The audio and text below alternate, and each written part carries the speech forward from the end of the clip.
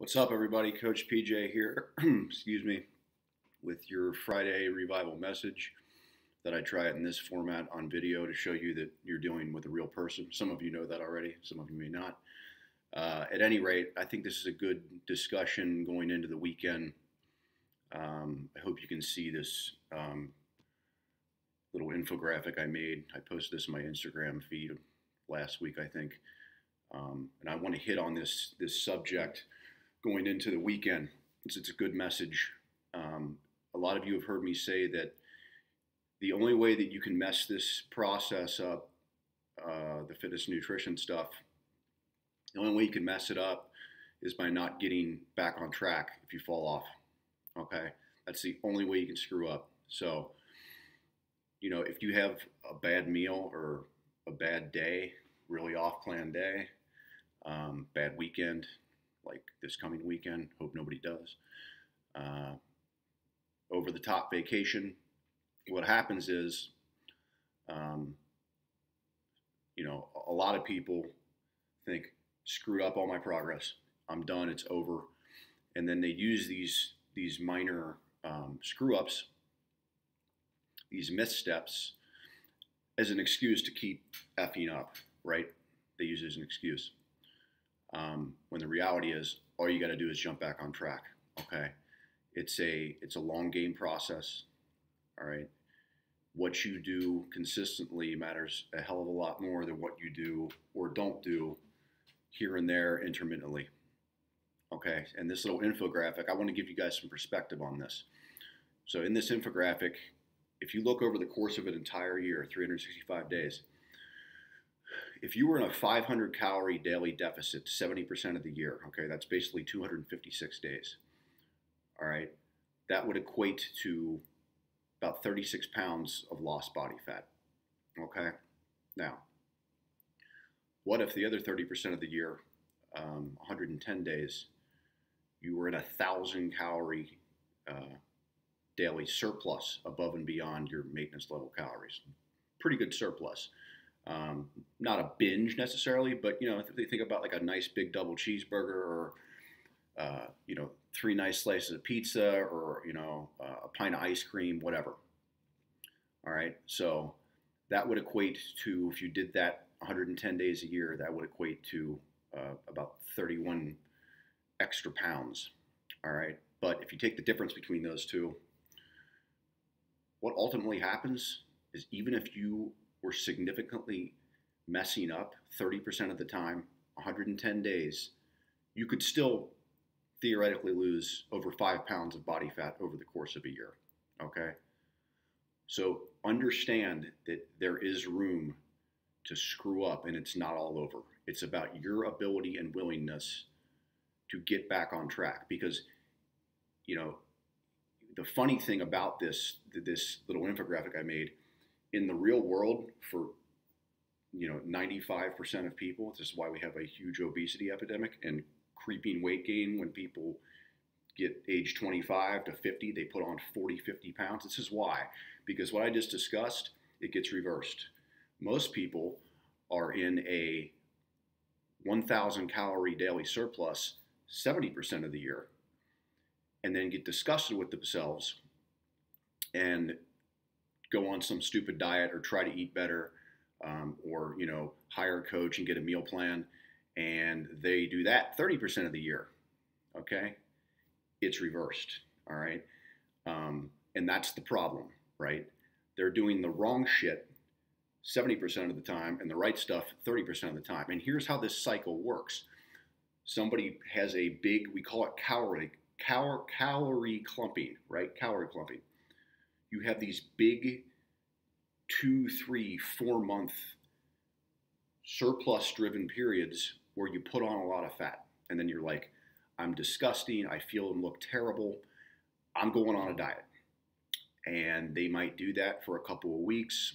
Either they do it hardcore or they kind of do it and they end up, you know, maybe losing three, five, ten pounds but then it gets hard, right? It, it's not fast enough for me. I want it all off now, not fast enough. Screw it, I quit, not fast enough. Then they go back into surplus mode for big chunks of time. I'm not talking about one day or three days. I'm talking about the entire holiday season from Halloween to New Year's. Okay? Rinse and repeat.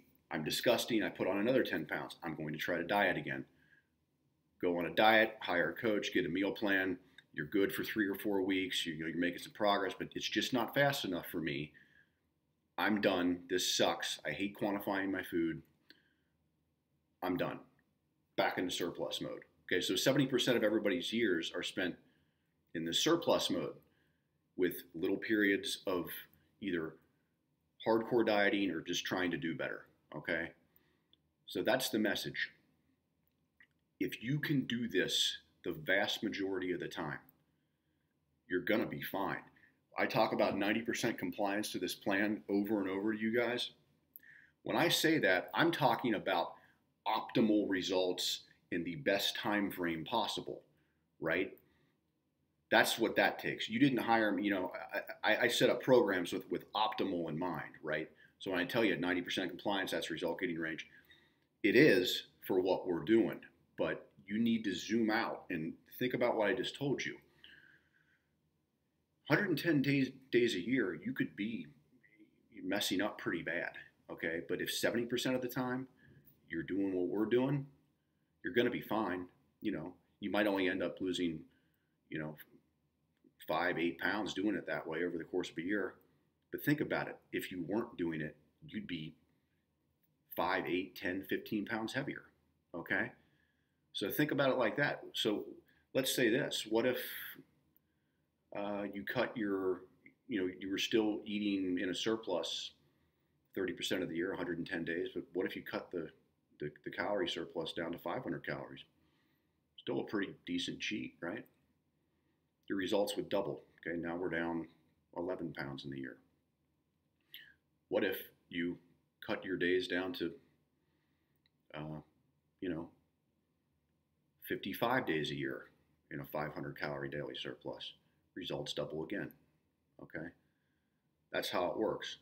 So what I'm, you know, this is this is different obviously than what we talk about about 90% on this plan.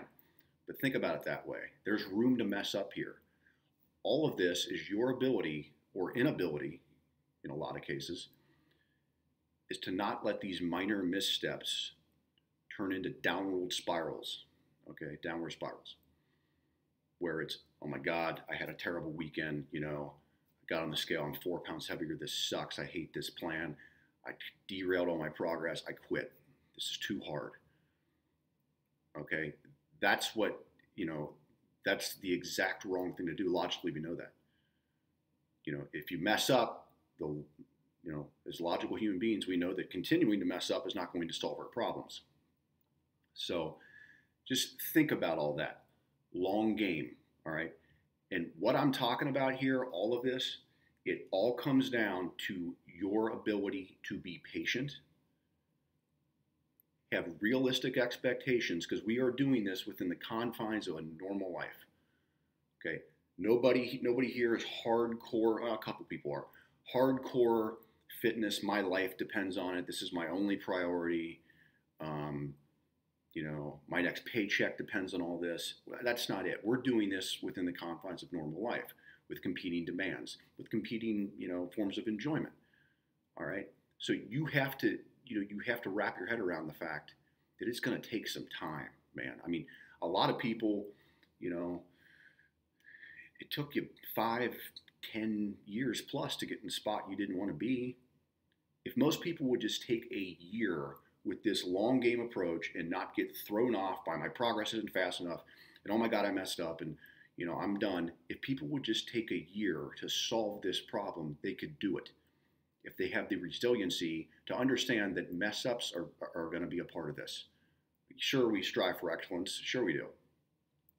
Um, but perfection is not not required. I mean, all the stuff I just told you, perfection is not required here one bit but it, it's it guys it, it comes down to i've been doing this a long time and it's always impatience i should be getting results faster blah blah blah you know i, I want it yesterday it's got to happen now no it's not the way it works okay and i try to educate you guys on this just take a year of your life and do it pretty darn well. Not perfect. I just showed you you don't have to do it perfect, but take a year of your life.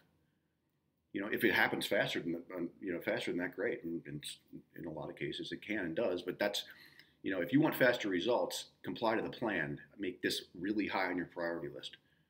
You know, comply to the plan to a greater extent. Do everything possible if you want faster results.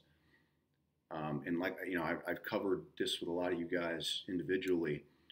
Your idea of what good progress is is is screwy. Okay. If from an evidence-based perspective, in the scientific literature, good weight. What's considered successful good weight loss? It's losing 10% of your body weight and keeping it off at a rate of somewhere. There's a lot of factors that go in this into this. Somewhere between 0.25 and 1% of your starting body weight per week. Okay, so a 200 pound person who loses 20 pounds um, in you know 20 weeks, that's that's good weight loss, right? 20 pounds in 20 weeks is a pound a week. That's 0.5% of that person's starting body weight every week for 20 weeks not a sexy message, not what you hear on The Biggest Loser and all these reality shows and everything else, or in the tabloid magazines, or in Dr. Oz, or whatever gobbledygook that people, and this shapes people's expectations, right? So it's it, it all comes down to somebody's willingness to play a long, long game with this. This is not an eight week fix, a 12 week fix. Depending on who you are, it, it can be. I mean, you would have to be very, very perfect with a plan and, and it has a lot to do with realistic, real world expectations and understanding that you're doing this within the confines of a normal adult life jobs, kids, social obligations, hobbies, other priorities, okay? But I know the answer is, is not to think I should be losing 10 pounds a week. And if I don't do it in the first week, I'm done. And then revert back to eating like garbage and not moving and being 10 pounds worse next year. I've had clients, guys, who have come back to me because they weren't getting results fast enough. And they were. Um, in their mind, they weren't. Um, you know, this is, I'm at a stall, I'm a plateau. I don't want to do this anymore. Six months later, I hear back from them. Oh my gosh, I wish I'd give anything to be back to where I was when I stopped working with you. And I was down 10 pounds in, in six weeks. Now I'm 20 pounds from that point because I wasn't patient.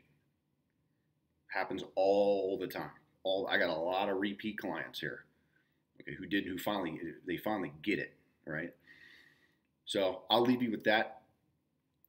Um, but understand that you know you can screw up quite a bit if you're willing to play a very long game and be very patient and have very low recency, right? Recency is this happened, rear view mirror, I'm just, I'm back on track. That's the fitness lifestyle. And that's what I want everybody to live. It's not what you do all the time, it's what you do the majority of the time. Okay? Lifestyle doesn't mean all encompassing all the time. It means what you do the majority of the time because you like the way you look, feel, perform, produce, you feel better, you look better, you, you're more productive spouse, employee, business owner, whatever it might be. You do it for that reason. Okay, don't be like everybody else who is living this gluttonous way the vast majority of the year and then tries to intermittent, intermittently diet and you know once it gets hard in a couple weeks into the diet they give up and they go back. And i'm telling you you do that for 5 10 15 20 years you're this is how people end up 50 pounds heavier from age 25 to 50 that's how. Okay? You don't have to be perfect with it. You just got to commit to excellence. That's all you got to do. So i'll leave you with that. Uh, have a great weekend and let me know if i can do anything for you. Thanks